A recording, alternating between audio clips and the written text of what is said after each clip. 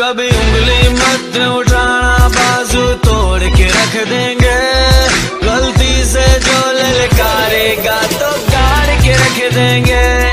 गलती से जो ललकारेगा तो गाड़ के रख देंगे निकल कफन दुश्मनों को कर देना फन खून में है वतन परस्ती, बाजुओं में पूरा दम। हम खतरों के खिलाड़ी बंदे हैं, सच्चे